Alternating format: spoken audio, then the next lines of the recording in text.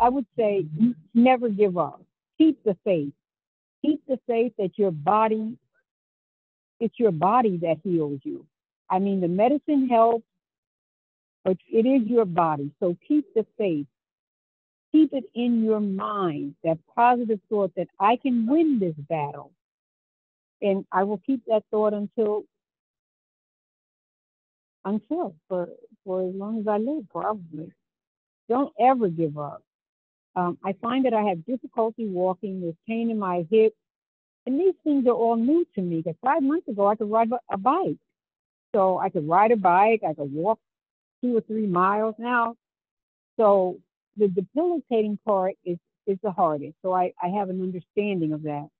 But never give up. Just don't.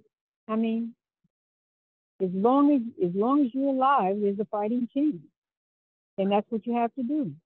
You have to believe. You have to believe, believe, believe, believe. And as many jokes as somebody can tell you, laugh. Laugh, sing, and dance.